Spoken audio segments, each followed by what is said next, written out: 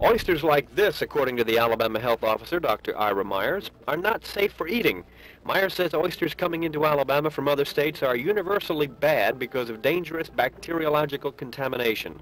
He says oysters from Alabama waters are within acceptable bacteriological ranges. These oysters are available in Mobile at Wintzell's Oyster House. They are bought from Zerlot Seafood in Louisiana and arrive less than 24 hours after tonging. Sonny Winsel says inspection standards are tough. Oysters are checked weekly by the state health department.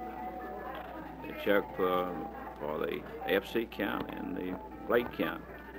The last two readings we've had, the last two have been way in the guidelines of the state of Alabama. I think the problem uh, that uh, Dr. Myers is talking about is the oysters probably in the northern part of the state, which uh, due to transportation are probably eight to ten days old when they're eating. And of course, the people in the northern part of the state do not know how to take care of oysters, ice them properly, uh, like they do in the south part of the state. Dr. Meyer says he does not know which out-of-state firms are involved, but there are about a half a dozen. The cause of the contaminated oysters is not known, but as of yet, no illnesses have been reported. Bill Spencer, Channel 10 Newsbeat.